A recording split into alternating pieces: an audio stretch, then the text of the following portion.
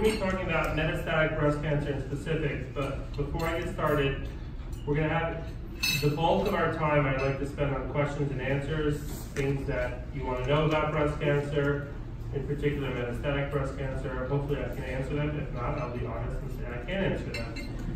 But uh, this really should be interactive.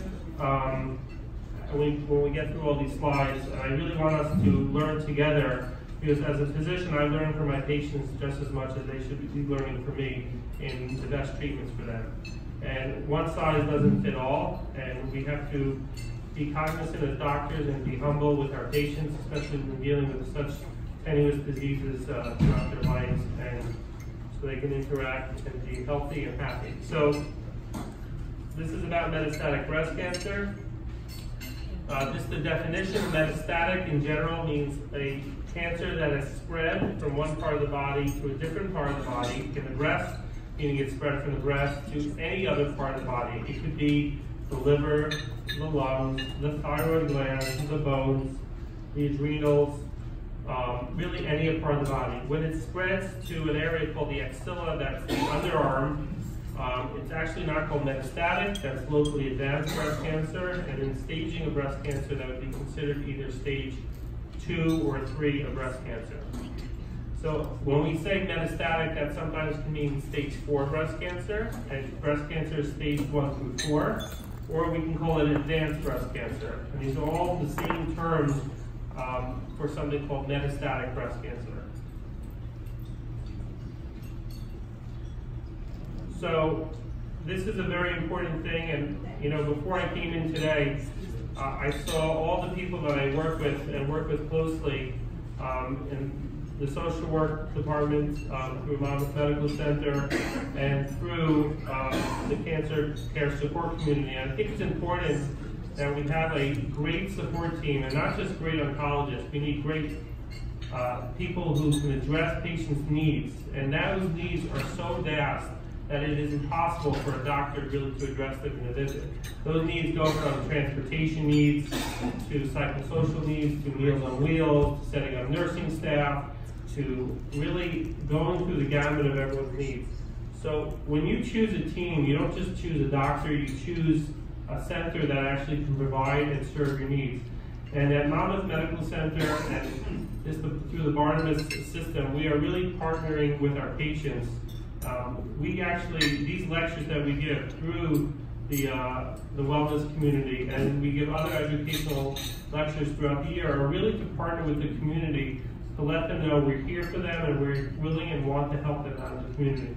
So I want to first of all thank all my social workers and the department at Monmouth for doing a great job in reaching out to the patients and also thank my nurses for um, really reaching out and going those extra miles for our patients.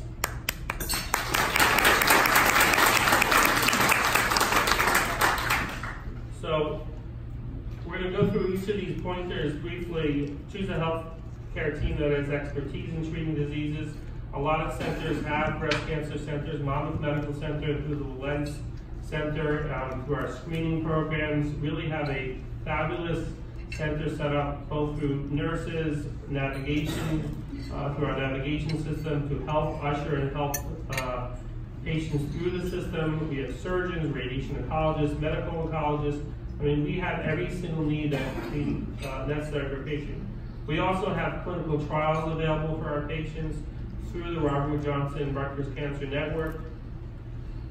To me, this is kind of the most important thing. I mean, anyone can meet any doctor, anyone can go to a cancer center, but everyone needs to have communication. You need to be heard, you need to actually express.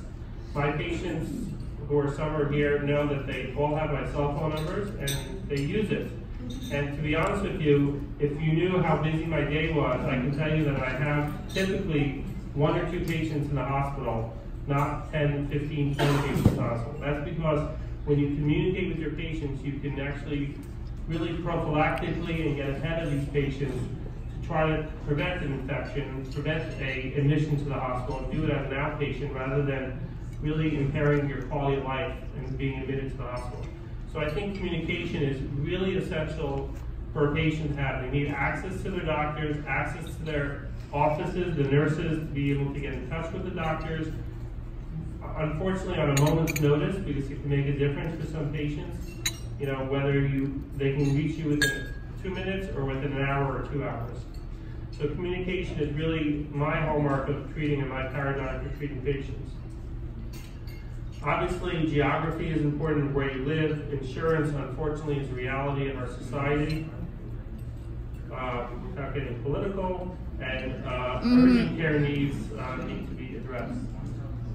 So second opinions are always strongly encouraged. We have, and we're starting through once again our network, uh, partnering with Rutgers and Robert Johnson of getting uh, what's called telemedicine second opinions, and we're starting that so our patients don't have to travel up to Rutgers for an opinion. They can actually go to a monitor and screen and actually on the TV interface with the doctor for a telemedicine second opinion with all the information provided to them. But I think second opinions are vital. I think it's vital to coordinate with your current and your treating doctor um, where you should go for your second opinion and what suits your personality best. So it's always important to keep a list of uh, questions and you should bring, I tell my patients after they leave the office, it'd be great if everyone a, has a little book and they can write down questions so when they come back, they don't have to feel flustered and say, you know, I had a bunch of things to ask you, Dr. Cohen, but I forgot what they are. That's a question that I can't answer. but if you write down a list of questions, the truth is you could write down in a little notebook and write down a list of questions. I would almost tell my patients, why don't you just call me if you have a question that seems maybe insignificant to you, but maybe could have a huge impact on your anxiety and how you're going to navigate the next few days, weeks, months in terms of treatment. Uh, I think it's always great to bring a friend or a relative to an appointment because I find that when you tell a patient one set of data and information, sometimes the patient thinks they heard something totally different. And it's important to corroborate that with friend and make sure that that friend knows that, uh, you know, what, what the doctor says. And once again, it's work. It's important to work with your doctor, discussing what your expectations are, really what you want out of life. Everyone has different goals to their treatment. Some patients might say, I just want to have a good quality of life and I'm in pain and that's all I want is quality. Other patients will say, well, I want to be live longer. Other patients might say, I want to live longer with a quality of life. Other patients will say, just make me as comfortable as possible, you know, for as long as I have. And the doctors don't know what your expectations are. So it's very vital in the initial appointment and even after the initial appointment is to set the expectations for what you want out of life, not what the doctor tells you you should want out of your, your treatments. I think it's also important in the, in the age of complementary medicine to discuss um, vitamins, herbs that you're on. these do have an influence on it. We can also, at the end of this lecture, I gave a few months ago a lecture on uh, marijuana and CBD oil, and I think it's great stuff that people should experiment with. Um, I have no problems with it. I'm not sure why everyone asks if I'm against it. I just, I just personally don't prescribe it for my patients, and not for the reason that I don't believe in it. I don't prescribe it for my patients because that is a whole another half an hour of conversation during the office visit, and I'm trying to focus on one aspect, which is their cancer care, not on attainment of marijuana. If you want marijuana, there are plenty of places in the area that you can get it. I think if you make a right or two left, there's a guy selling some stuff. There's a lot of, my mother told me. but, um, but I'm not, no doctor really is opposed to marijuana. These are all measures to actually help the patients get through this trying time. So if you use marijuana, for instance, for nausea or vomiting, that's purely acceptable. If you use marijuana for pain control, and if you think it helps your pain, that's fine. Obviously, you have to be careful of where you buy it from, and you want to buy it from a source that's pure. You don't want to end up in the hospital because it was laced with something else. Um, but, you know, there is the state of New Jersey actually has legal marijuana for medical use, and there are plenty of practitioners in the state that you can get it from. It does take time because you have to apply online, and you have to find a practitioner that does it, but there are plenty of practitioners that do do it. Okay, so let's discuss for a few moments how treatment for metastatic breast cancer is different from early treatment. Early stage breast cancer is what we call adjuvant therapy. I'm going to use these terms different from metastatic breast cancer treatment. So when you're treating someone for early stage breast cancer, we call it adjuvant, meaning in addition to, for instance, their surgery or their radiation that they're going to have. Um, adjuvant breast cancer is typically based, and for patients who get it, for patients who have early stage breast cancer, i.e. it has not spread to any other part of the body. It has not spread to the liver, it has not spread to the lungs, it is localized either to the breast or to the lymph nodes. When you're treating metastatic breast cancer, you're trying to manage a few things here. You're trying to manage the symptoms, you're trying to maintain everyday functioning, you're trying to do both of these, and these are the most important things to me. At the same time as maintaining someone's quality of life, you're also trying to extend their life. No one knows, and I do not know patients, and I have patients that have metastatic breast cancer that actually are stable and doing great, and I have patients who have metastatic breast cancer who are struggling. And it's a the same disease, because we're calling it the same, we're calling it metastatic breast cancer. But in the same disease, you can have such a variety of uh, patients and different experiences. The goal is to slow down disease, stop disease, and really the goal is to maintain quality of life, extend life, and really live life. Okay, so if anyone in the audience has breast cancer, they should have at least heard some of these terms before, and if they didn't, they should start learning these terms. These are important terms that the doctor is going to refer to throughout their appointment. So what's called ER, or estrogen receptor positivity, PR, which is progesterone receptor positivity, HER2 positivity, or something called triple negative, which triple negative basically means ER, PR, and HER2, those three genes, which is negative. So those are very important because each of those types of either ER, PR, and HER2 and triple negative determine a lot of times the therapy the, doc, the doctor will give you. And I almost call this an address, meaning you can have a patient with X breast cancer that has ER positivity and HER2 positivity, and they'll get treated with one set of therapies. And you can have a patient with what's called triple negative breast cancer, they'll be treated with a different set of chemotherapies or oral medications. And you can have 15, 20 people in your waiting room and they can all be on different treatments because you're basically targeting the therapy differently in order to slow down or stop the cancer.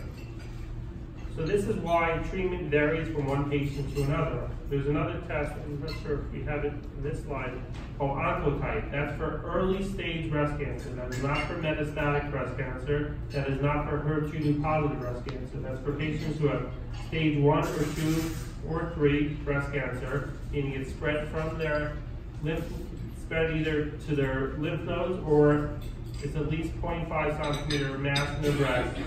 So either a stage 1B or above breast cancer, that the oncotype is only given for ER positive patients and HER2 negative patients. So either you're ER positive and HER2 negative, and an oncotype for adjuvant therapy is given which determines whether you need chemotherapy or not. So we're going to discuss a little later some molecular testing and things like that, but that's a little introduction to it. In addition, you want to know what are the short and long-term side effects of treatment, how do you know if the treatment is working, what are the supportive services that are available to you, this is an important one to me for patients who, who wants a bill at the end of their therapy and that they can't afford. And it's very important that we as a practice always get our patients cleared for the chemotherapy prior to starting the drugs. Are they eligible for clinical trials and what clinical trials are they eligible for? Okay, so we're going to discuss some of these treatments. Hormonal treatments has to do with whether you're estrogen receptor positive or progesterone receptor positive for that matter. And those are drugs like Femara, tamoxifen, aromasin, Arimidex. Chemotherapy are the IV drugs typically, but there's an oral drug called Xeloda. There's targeted therapy, which primarily goes with the HER2 positive drugs. And there's immunotherapy, which is, there's only one drug uh, currently FDA approved called Tecentriq for triple negative metastatic breast cancer in the current time. Sometimes a local treatment, such as surgery or radiation, can be treated for pain. So in a metastatic setting, meaning when a cancer has spread to another part of the body, we typically do not offer radiation to those patients. However, if a patient has pain, for instance, in their back, that is a disease, meaning the cancer has spread to the bones and is causing pain in the bones, those are the times we'll use radiation to palliate or soothe or lessen those symptoms from their breast cancer.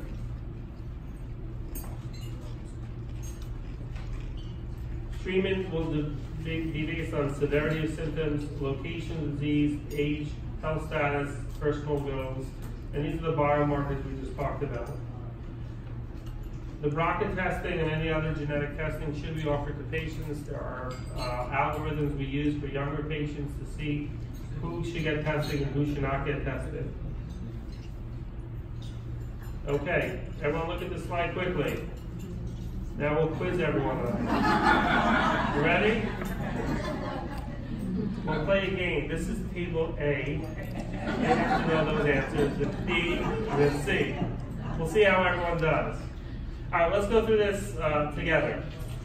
So if you're estrogen receptor positive, hormone therapies are actually right up the alley. So patients who present with hormone receptor positive, which is called estrogen receptor positive breast cancer, then a hormone therapy is one of the drugs we will use. We can also use a targeted therapy for hormone receptor positive breast cancers. So, for instance, a patient who presents with metastatic disease may start out with a drug like aromasin or Faslodex, which is an injection, and a target therapy called Verzenio or Ibrance, if you don't watch TV, think I see an Ibrance commercial every seven seconds. Uh, and a target therapy called Verzenio or uh, Verzenio or um, Ibrance, which is called a CDK inhibitor. Those actually work in conjunction with estrogen receptor positive breast cancers. Patients who are estrogen receptor positive also can go on chemotherapy. We'll go through the standard drugs for that.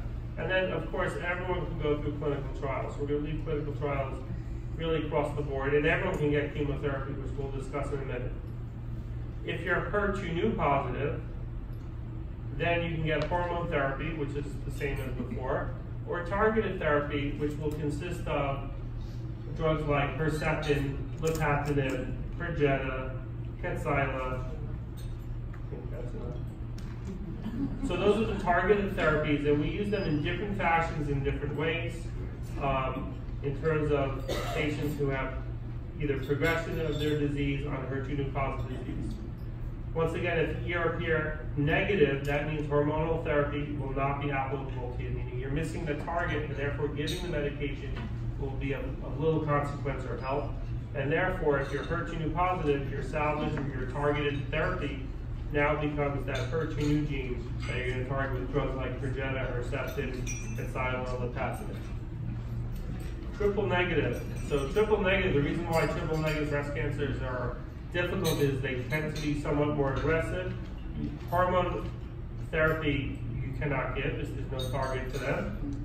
Targeted therapies, i.e. HER2 directed therapies, you cannot give because they're not, there's no target to hit. So uh, this past February, uh, Tecentriq was actually finally FDA approved for patients with triple negative breast cancer. And it works in, in a subset of patients. The problem with, with these patients is that it doesn't work in all of them, but it's worth a shot.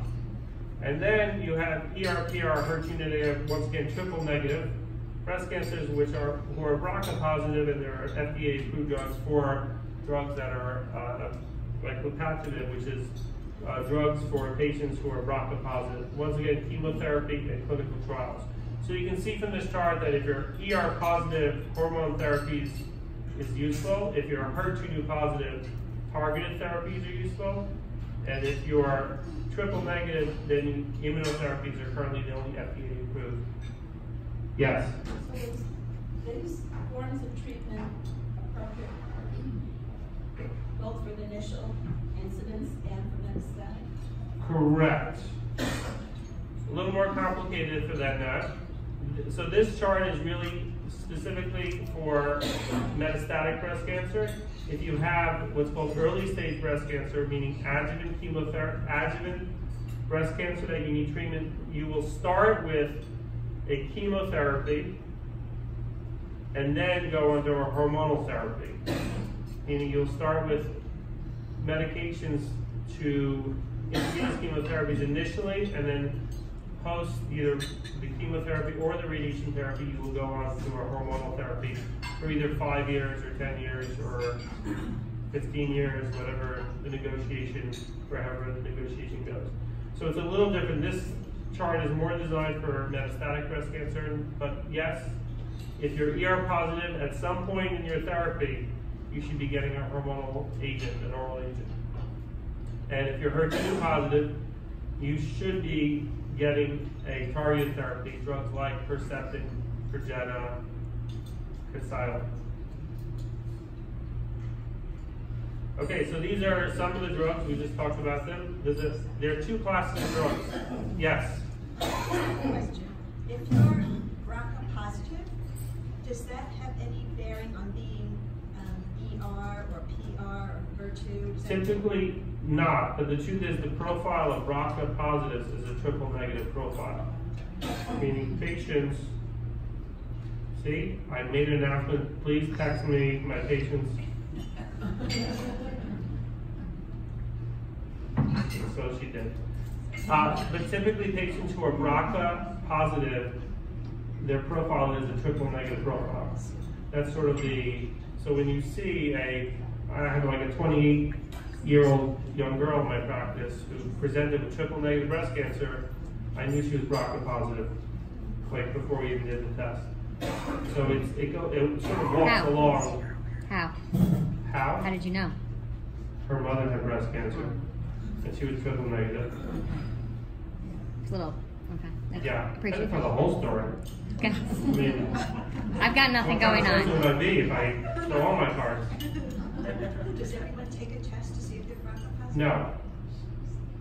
No, um, Myriad has what's called Myriad tables to see what your risk would be related to if you have any relatives. So it depends on your origin. Ashkenazi Jews typically have a higher risk. And if your mother or what your family tree is in that tree will depend on what your risk also is. So if you have no family history of breast cancer and you're 88 years old and you're getting a diagnosis of breast cancer and you're estrogen, progesterone receptor positive, HER2 negative, the likelihood of this being a BRCA positive breast cancer is pretty low. And it's probably not advised to do the genetic counseling or testing.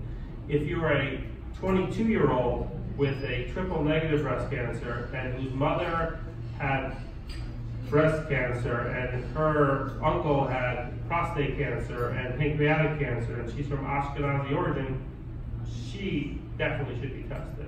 So this is sort of the two extremes, and there's a lot of gray in between that obviously, but that's the two extremes. A young person with a very aggressive tumor and a very strong family history, and an older person who typically has no family history. Do you see many patients that are triple negative that do not have a mutation? Yes. So the mutations are not as common as everyone thinks it is, because you know when you hear on, you know, you think, you think, you know, 50% have these mutations. It's really about five percent. It's a very small select patients that have it, but you have to actually be aware and you have to test the patients for it. Just because you think they have it is meaningless. There's now called panel testing and more in- in-depth testing that they do not only BRCA testing, but they do other genes that, so just because you don't have BRCA doesn't mean you can't have a Knox gene or a, you know, a different gene along the way that actually has a higher incidence of uh, breast cancer or ovarian cancer for that matter. Excuse me. Yes, Uh, why, if they already have cancer, do you have to do the test then? excellent question. That was a great question. So there are a few reasons why you do uh, genetic testing. Number one, it actually can influence the treatment of the patient.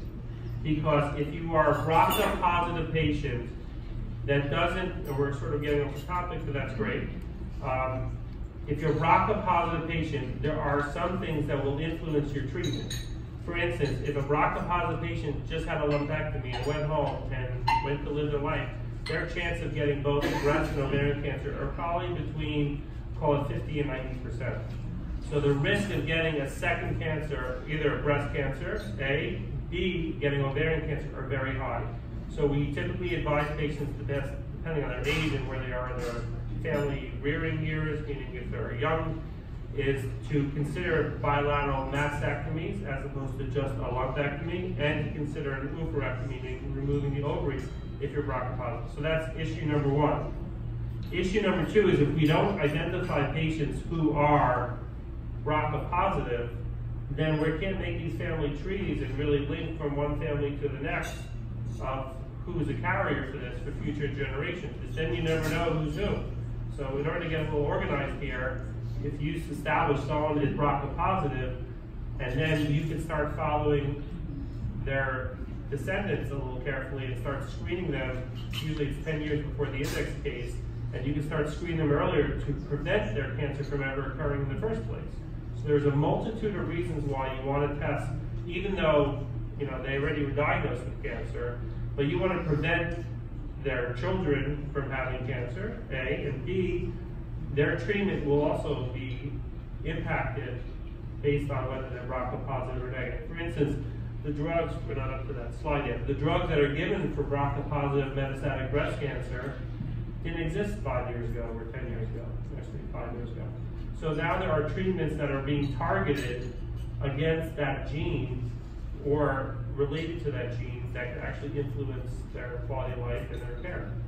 So there are a few reasons to test for BRCA gene. Not just BRCA specific, to have genetic testing and screening because there are plenty of genes out there, unfortunately, that we test for patients and we say, okay, this, this is gene called X or Y that has what's called a variable significance. We're not sure if in, it has an influence on the cancer or not at this point. And that goes into a data bank, and so we can report out to the patients after following for years whether this was a gene that has any impact on their on, on, on their disease. In addition to that, the truth is, is that if we don't diagnose these patients, I had a patient who in the 80s had bladder cancer. In the 90s, she had colorectal cancer. In 2000, she came to see me in early 2000. And she thought it was an isolated incident. She actually had what's called HNPCC, which is hereditary non-polyposis coli, which is a familial colorectal cancer. But no doctor, she saw a new doctor every couple of years, but no doctor could actually put it together. But by diagnosing her with this, we could treat her, but not only that, we found out her daughters both have this gene, and then we could prophylactically get colonoscopies and the appropriate testing early time, so we actually detected this, these diseases earlier. So, do you find insurance companies are discriminating against these people? So I find insurance companies to discriminate against everybody. First of all, you're not going to get a car anywhere out of you an insurance company. But the answer is no, they shouldn't. But I can't say what they really do. I don't really trust them. Okay. Any other questions? Yes. On your chart that you had, um, you said chemotherapy, but it's also radiation on all of those types of. I was only, so I'm a medical oncologist, sorry. I don't, I don't, I'm not gonna be discussing radiation therapy. Radiation therapy for metastatic breast cancer is only given in what we call the palliative setting, meaning to prevent pain or suffering. If someone's having hip pain and there's a, there's a tumor there that's pushing on the bone, the radiation oncologist will treat that to make sure the pain is better. But for for metastatic disease, meaning once again disease that has spread beyond the breast, typically radiation, I say typically, it's not offered. That doesn't mean it won't be offered or it can't be offered. Typically it's not offered, as opposed to in earlier stage breast cancer, it is always offered because we're trying to sort of treat that area only. So it's a local therapy, it's not a systemic therapy. Okay, it just wasn't on the chart, so I didn't know. Yeah, I didn't make the chart, but I'll talk to the person who did after this question. All right. So tamoxifen and tamoxifen or f- these are what's called SERMs, which are selective estrogen receptor modulators. Actually, uh, is another SERM. Uh, People actually take raloxifene for bone density issues. And then there are aromatase inhibitors. These are the drugs like anastrozole, exemestane, letrozole, Femara, aromatase, and. And these are a little more selective, and there's a big difference in terms of the side effect profile for who's on these medications between these two drugs. So, for instance, tamoxifen has a high propensity to cause hot flashes. There's a risk of uterine cancers related to it. You need an eye exam on a yearly basis related to tamoxifen. It actually helps bone density, not decrease bone density, but increases bone density.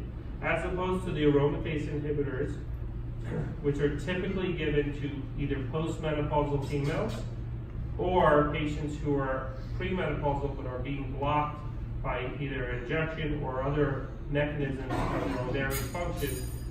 Um, these are medications that actually typically cause bone loss, and they also can cause joint aches and pains. That's the most typical complaint for them.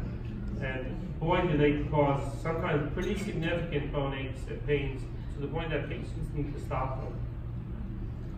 So if anyone has been on these medications or has friends on these medications and they say, oh, my aches really bother, you know, my bones really bother me, it's likely this medication that's causing it. Question. Yes.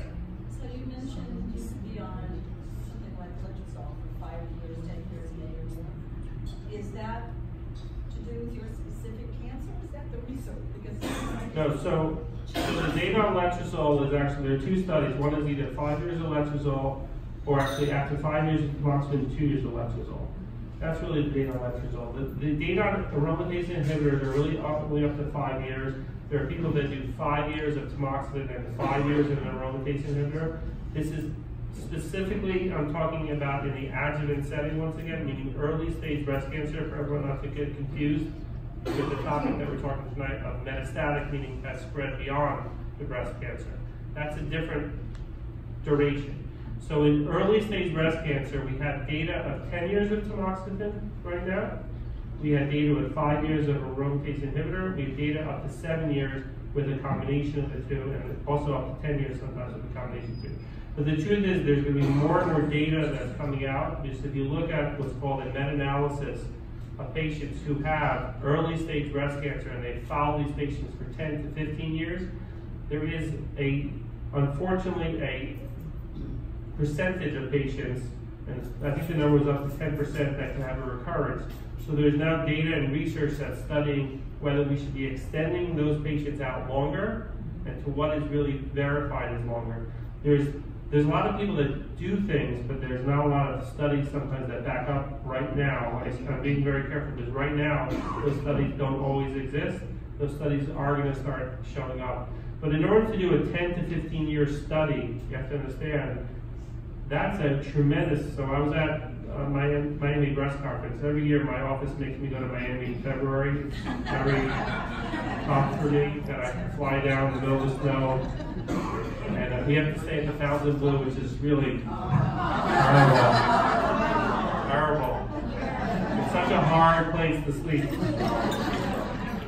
Um, but at the Miami Breast Conference, they presented this data, and the truth is, is that some people are extending it out longer, but the data really um, isn't there. But these studies, it's very hard to do a 15-year follow-up study because A, unfortunately, I think the, key researcher died in the middle of the study. If you understand that you're following a patient for 15 years, and the guy in charge of the study, the, the principal investigator could be in his mid to late 60s, 15 years later, he's in his 80s. So, and it's hard to follow patients 15 years because everyone looks at their own families and their own lives, people move around. And you lose pa- patients and you lose the nurses that are following those patients. So it's a hard study to do to follow up patients for 10 to 15 years. But truthfully, we gain a tremendous amount of data because I see patients who had breast cancer 10 years ago. Today I saw two patients who I'm treating now who 10 years ago had breast cancer. They said, oh, they needed an oncologist, so they came to my office one day, and unfortunately their cancer had recurred. That's pretty devastating for a patient who thinks they're all done with this, and it's probably worse than their initial diagnosis, I take it, because here it is back 10 to 15 years later, and they thought they were in the clear. So anyway, there are studies extending these pills out longer who are estrogen receptor positive, early stage breast cancer, for that exact reason, to actually try to see if we can shift that, not from 10 to 15 years at recurrence risk, but even 15 to 20, 30 years later. And then, I don't know how we're gonna study that, but at least to move that curve a little over on that way. Okay, so another medication uh, that is used, which is a selective es- estrogen downregulator, it's similar to tamoxifen. It's called fos- or fulvestrant. This is a very unique medication. The only problem with it is that it requires injections, which are painful, uh, because it's given in a very syrupy uh, it, the diluent, meaning the, the medicine sits in a very syrupy solution, in order to provide it to the patient, it has to be given in an injection form. But it's a very effective medication. And then the LHRH agonist, antagonist, which is Zoladex and Lupron, which are the blockers uh, patients. So if, we're, if you have a premenopausal female who you want to, in essence, make postmenopausal, because you want to use an aromatase inhibitor to treat metastatic breast cancer, you use these medications to block their periods and their hormones in order to actually, in essence, fool the body to thinking they're from premenopausal to postmenopausal. Okay, so we talked about hormone status. Uh, we talked a little about side effects. Obviously, you'll be discussing with your doctor past hormonal treatments and menopausal status does play a role in the pre or postmenopausal mentioned. Okay, we're going to stop before we get chemotherapy. Anyone else has questions? Is the tamoxifen as effective as the Arimidex and the So that's a loaded question because in Europe, the truth is that they actually prefer tamoxifen for cost effectiveness, meaning if you take dollar for dollar, tamoxifen is a very effective drug. Um, where I trained at Fox Chase, actually, V. Craig Jordan was the inventor of tamoxifen. If you look at the history of tamoxifen, it's so intriguing. They gave it to patients who were elderly patients in nursing homes in England that they had breast masses and they didn't know what to do with them, so they just popped them on a pill called tamoxifen and they saw these breast masses shrink away. So that's really how, I mean, I'm sure pharmaceutical companies picked it up pretty quickly, but that's how tamoxifen sort of, it's actually the first targeted therapy because tamoxifen is truly targeting the estrogen receptor. So it's really a unique drug because it's targeting the estrogen receptor to slow down the cycle of the cancer. So tamoxifen is a very effective drug.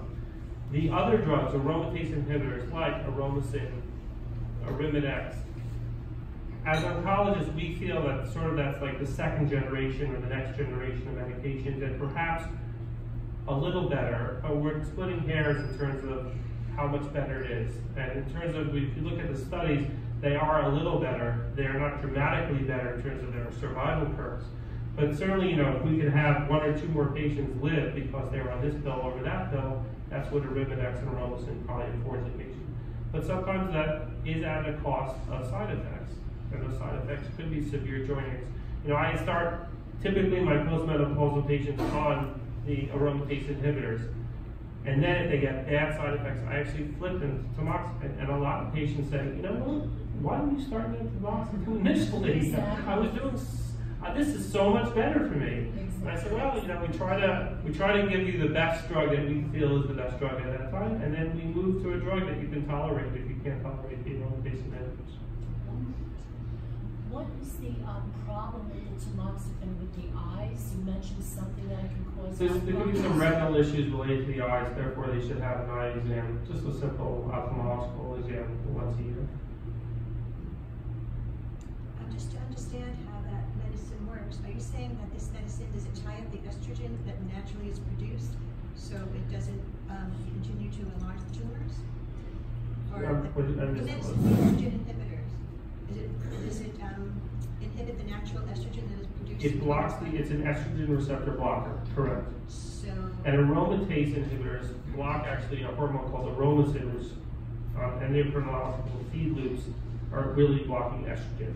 So these are both, you know, patients will say, I'm gonna put you on an estrogen medication, and they hear tamoxifen, You're not giving tamoxifen to feed the estrogen, you're giving it to block the estrogen. So they are actually estrogen receptor blockers, But estrogen that's produced from the woman's body. Correct. In, naturally. So people don't know this, but you know, just because you're postmenopausal doesn't make you stop producing estrogen. You have adrenal glands, you have fat cells that actually produce estrogen. That's what keeps people feminine, feminine stuff. They don't typically grow beards when they become postmenopausal because your body, is in balance and still producing estrogen. So this is down-regulated, block the estrogen in your system. You don't like that answer? about Okay. But it's not related to metastatic, but do you think that women that are taking like hormones, like a pill or anything, are they more prone to getting cancer? So, you know, the truth is that if someone is estrogen receptor positive and they're on oral contraceptives or hormone replacement therapies, we tell patients to stop those medications. And the reason for it is that in theory, you're feeding or promoting the estrogen in the body, and thereby, if it's an estrogen receptor fed disease, you're not helping the situation. The analogous situation is to males that have prostate cancer. What do we do for men with prostate cancer? We block the testosterone, and by blocking testosterone, thereby we downregulate the tumor. So when you block the estrogen, you downregulate the tumor. You block testosterone, you also downregulate the tumor. So we do not promote or do not tell patients, you know, if you're estrogen receptor positive, to continue taking oral contraceptives or hormone replacement therapy. But does those contraceptives, do they actually, can they be more, um, a risk factor for getting breast They could, yes. Just, you know, we just have such a large population of women getting breast cancer, like, hmm. out of like hundreds of thousands of cases every year. This is true. And I'm just wondering if it's related to oral. It could be.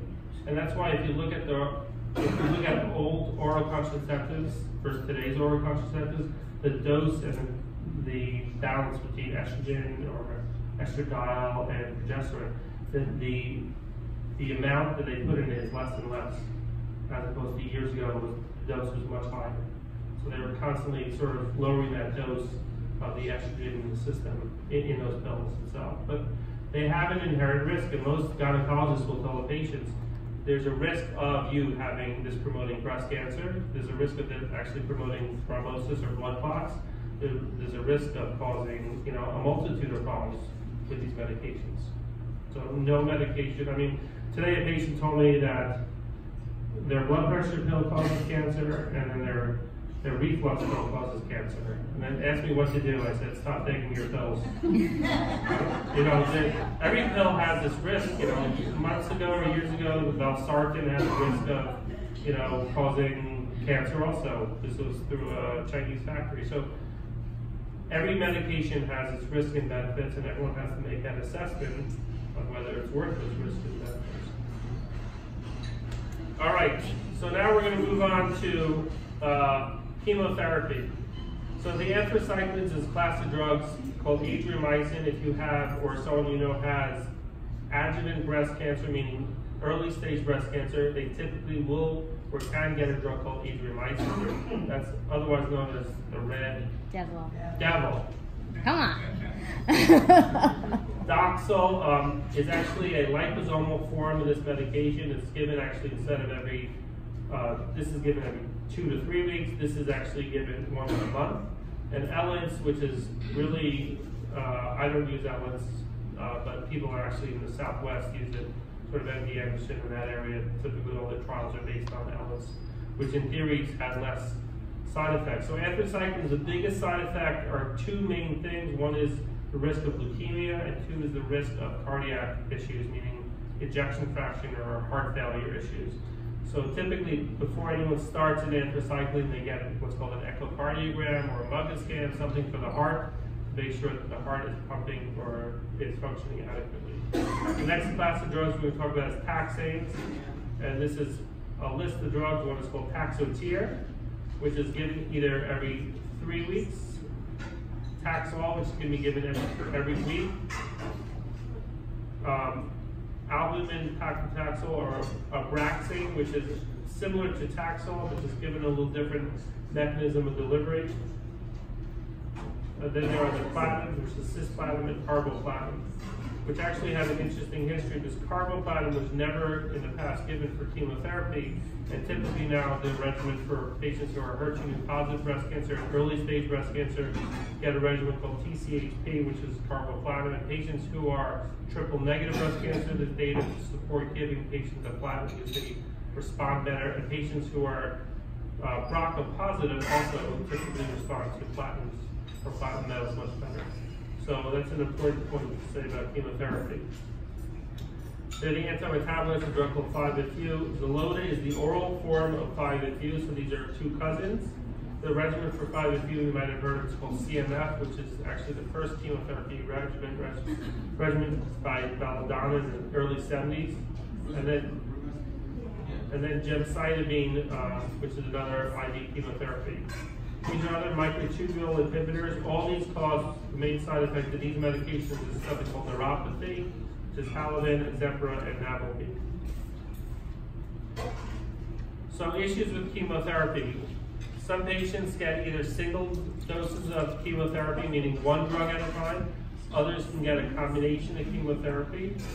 So the advantage of giving a single chemotherapy is fewer toxicities. The advantage of a double, meaning two drugs at the same time, is greater chance of response. So if you have a patient who's doing very poorly and you need a more rapid response and they're not eligible for any other things, giving a combination of chemotherapies is usually the preference, as opposed to patients who are stable, feeling good, and don't need a lot of side effects, but you want a response, a single agent is usually the preferred regimen. There are oral agents. Xeloda is my preferred oral agent. It's easy to take. Sometimes it has some side effects like diarrhea, something called hand-foot syndrome, which is burning the hands and feet. Uh, cost plays a role into the chemotherapy and side effect management of all these drugs. So for instance, when you're debating on chemotherapy, sometimes important things are what causes hair loss for a patient because if they want to maintain their hair, who doesn't? Uh, but for quality of life purposes, as opposed to putting on a wig, sometimes you would choose one chemotherapy which is equal as, as, as efficacious as another, but you want to make sure that patients tolerate it well.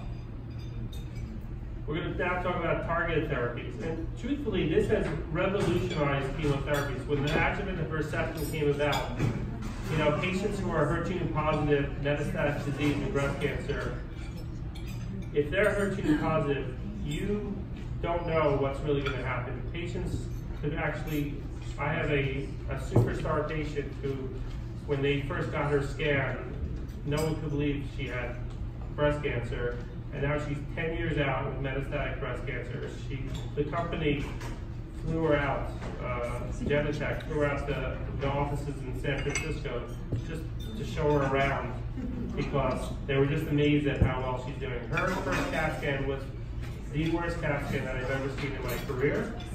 It looked like there wasn't a spot that didn't have disease, I would say. It was all, when you look at a CAT scan, anything bright is bad. The whole sheet was bright.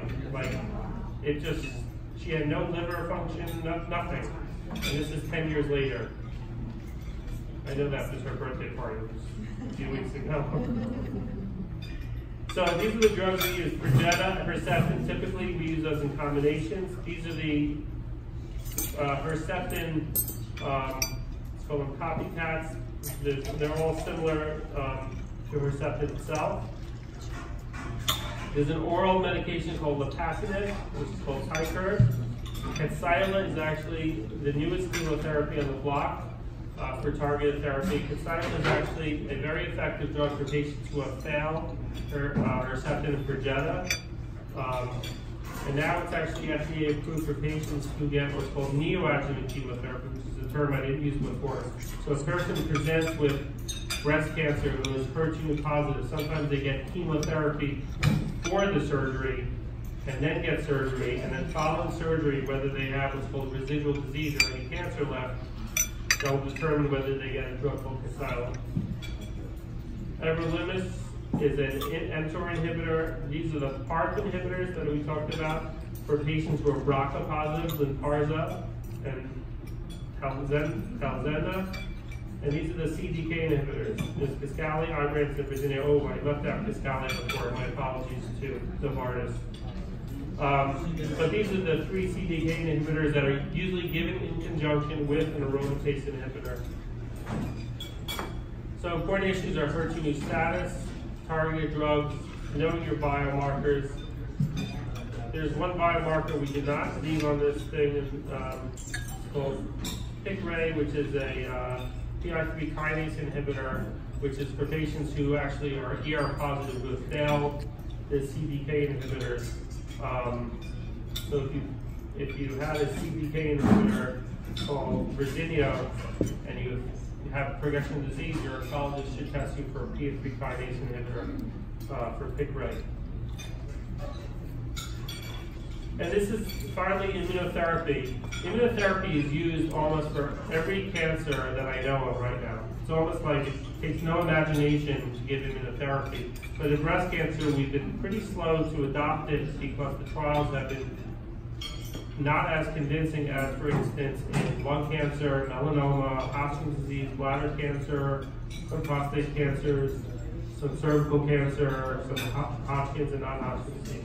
So the first and only FDA-approved drug is called Tecentriq, which is called atezolizumab. Um, it's given in combination with Abraxane for triple-negative breast cancer in the metastatic setting. So someone has this. Um, this is given together with Abraxane. It's the first metastatic breast cancer therapy approved for in immunotherapy.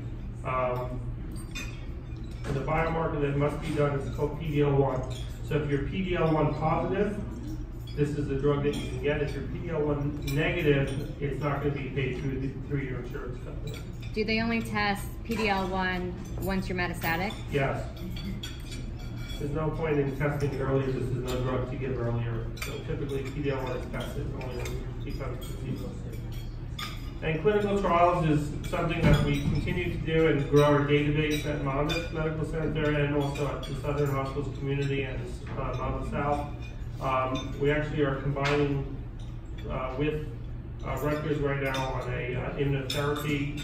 Well, if you start an immunotherapy drug, it's called a Parker trial, that if patients get on immunotherapies, we draw four times their blood at different times in immunotherapy to test different markers throughout the therapy, and patients get a $50 gift card every time they get their blood drawn.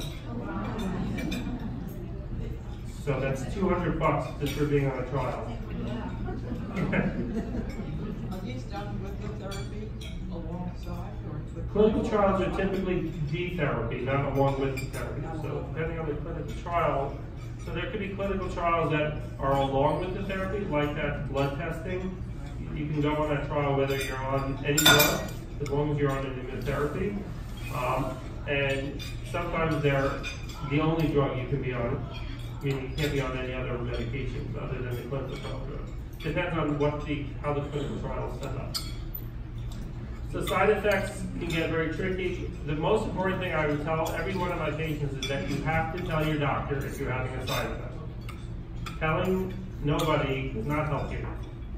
So you have to be proactive let the doctor know what the side effect is. Sometimes the side effect can be addressed appropriately, and sometimes you can't do much about it other than saying, you know, let's try to manage it and try to work with it as best as you can. Hair loss is obviously a common one and really for, you know, appearances, that's the most significant that people know that someone is on chemotherapy is fatigue, insomnia, lymphedema, neuropathy based on the medications, hot flashes, sexual side effects and dysfunction. Cognitive effects are very common uh, for patients on chemotherapy and also after they're done with chemotherapy, cognitive effects can continue. Immunotherapies have also their unique side effects. I actually tell my patients if they're on immunotherapy, think of the itises. They've got gastroenteritis, hepatitis, nephritis, which is kidney problems, pneumonitis, or thyroiditis. So they can, immunotherapies can affect any part of the body and actually can have pretty significant side effects. You have to pay attention to the side effects of chemotherapy. So they can cause diarrhea, eye problems, breathing problems, headaches, blood pressure, chest pain, urination problems, fevers. You know, you can really run the gamut. You name any side effect, and I can tell you that That could be the chemotherapy or the immunotherapy that's causing it. Palliative therapy, this as a note, is not the same as hospice. It's giving supportive care, but the truth is we should be doing that all along when a patient has metastatic breast cancer to support them in every which way possible. Sometimes surgery is given for palliative care. As I mentioned before, radiation therapy sometimes is given for uh, palliative care. Uh, bone loss is a significant side effect related to the uh, aromatase inhibitors, and that's why we offer bone density scans or DEXA scans for our patients. And there are medications that we use called Zometa and Xgeva, which are injections or shots, uh, or infusions, I should say, in shots to slow down the risk of uh, bone mineral loss. And also it helps sometimes with bone pains and calcium um, balance. So any questions up to now? Yes. Which types of cancer say are amenable to the immunotherapy So right now, the only FDA-approved therapy for immunotherapy in breast cancer is triple negative breast cancer. That means ER, PR, HER2 negative breast cancer that is metastatic is the only FDA-approved indication for patients for immunotherapies. So there's no other, and that's given in combination with the drug called Abraxane. So that's the only right now indication that we have for immunotherapies in breast cancer. So triple negative metastatic breast cancer. When you have a clinical trial, No, so these clinical trials would be unethical to give a placebo. And so I always tell my patients they can go anywhere they want, they can see anyone they want, but if they're getting a clinical trial, I would always like to view what clinical trial they're going on because sometimes these clinical trials are really for the cancer center, for the patient on the trial, because they need X amount of numbers. I hate to say that, but that's the reality of sometimes what patients and doctors need to do. Other times, they're excellent clinical trials, but no trial in a person with metastatic breast cancer should be a placebo versus drug trial. That would be unethical in my mind because that would not allow or for the patient to get actually any treatment when they actually obviously need treatment. So that should never be offered to a patient, and if it is offered, then you should go to another place.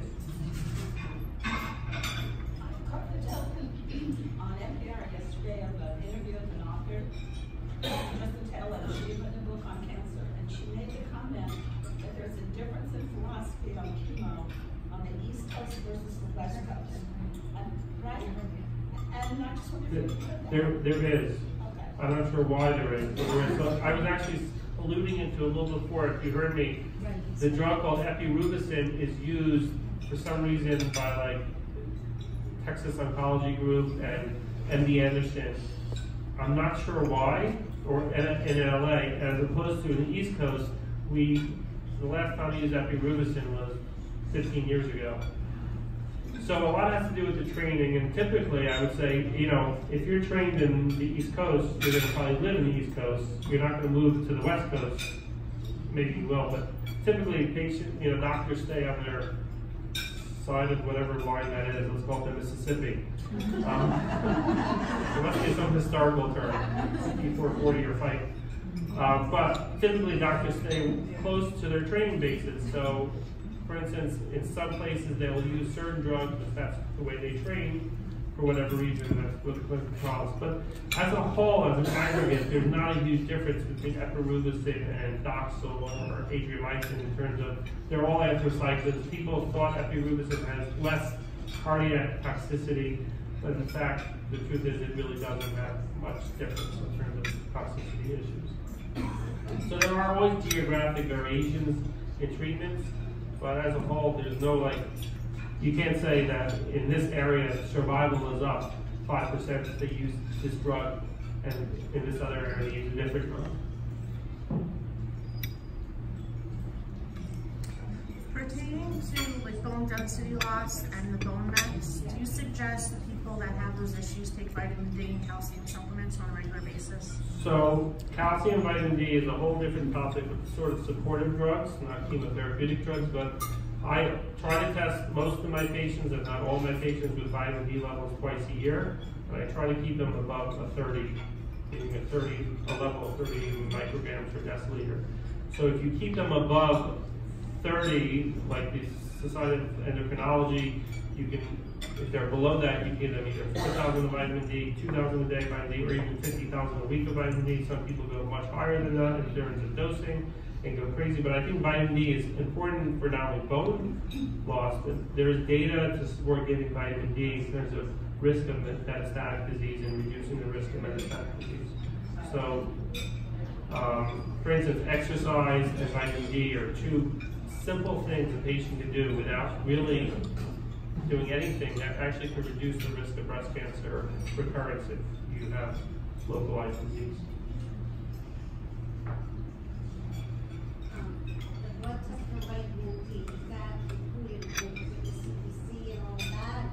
Right, so most patients won't know they're getting a vitamin D tested unless they, either the doctor orders it routinely or the patient says, could you check for my vitamin D level? But if their blood is drawn, typically when they have a chemistry profile, that can be added to the chemistry profile, so they don't need an additional stick for blood. If you're taking the estrogen blocker medication, um, are we not getting any estrogen at all? No, you are. Oh. You still, it's not a complete blockade, because once again, what makes a person feminine, even though they're blocking estrogen, they're still, you know, so estrogen is still being secreted, but at to a lesser level, and it's downregulating estrogen in your body. So the level of estrogen is not the same. The problem is there's no way to quantify that, meaning there's no like blood test to see how much estrogen truly is based on whether you're taking the or not. Yes, I'm glad the back table raised their hand. That's good. Can you repeat the questions?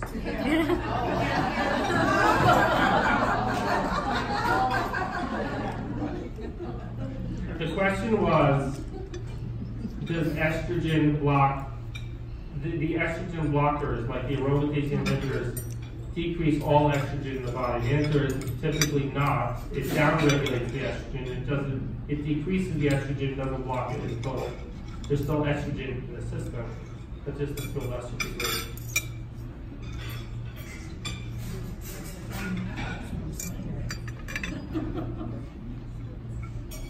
Hello? Yes, I vitamin D question. What, I, I've just taken on my own good. So, do I do maybe a bad thing, or, I know it was less than thirty. You did not do a bad thing. We'll talk later. No. You did not do a bad thing, it's okay. You're fine.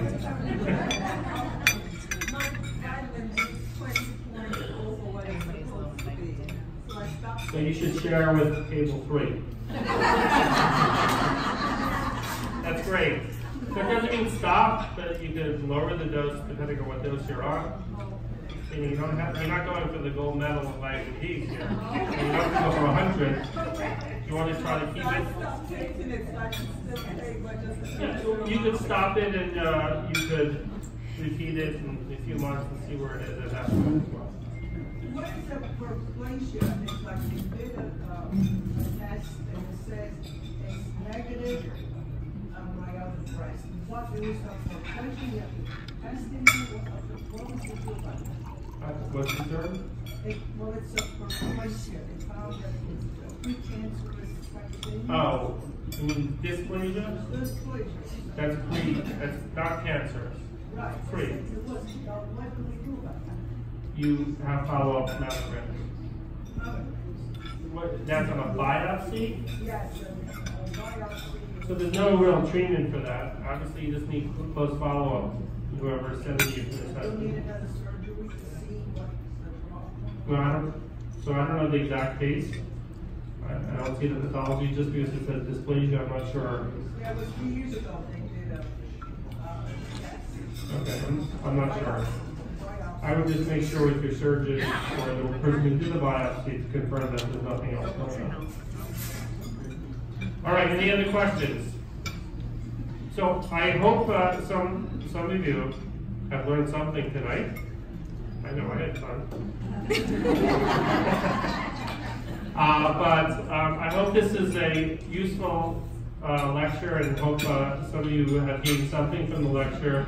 And I really want to encourage everyone, if either themselves or their family members, to really not only be supportive for them, but also ask them to prod and make sure their doctor is really addressing their needs and going out of their way to really help them as best they can. Yes?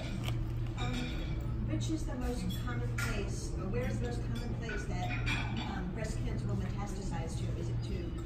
So typically, I would say to put it in order and rank it, bone is number one, uh, lung, liver, you know, adrenals. So it typically doesn't go much beyond the liver, you know, in the pelvic area. Um, so bone, liver, lung, sometimes thyroid, and it can spread to the brain, unfortunately. So when you say that different patients are, um, they respond differently when they have metastatic breast cancer, isn't it somehow related to where it has metastasized? Is that? Typically not. The genetics of disease that really portends and predicts the prognosis more than where it's spread to. So you can have a patient who's spread everywhere and have an amazing response because the genetics of disease is such that whatever drug you pick sort of matches the genetics of the disease to block it. And you can have a patient with very minimal disease that just doesn't respond as well because it's refractory, meaning it's, it's non-responsive to therapy. So where it spreads doesn't pretend to prognosis as much as what the genetics of the disease is and how that will respond to the therapy. When you say the genetic of the disease, are you talking about the specifics or just the? I'm talking about all the genetics of the disease. So ER, PR is part of it, HER2 is part of it. You could actually run what's called foundation medicine or what's called Guardant Health, which is a liquid genomic biopsy to run PI3 kinase inhibitors, you know, really any any inhibition or any targeted therapies can be.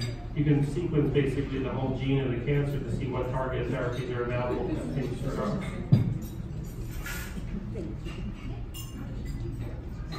Okay, thank you very much.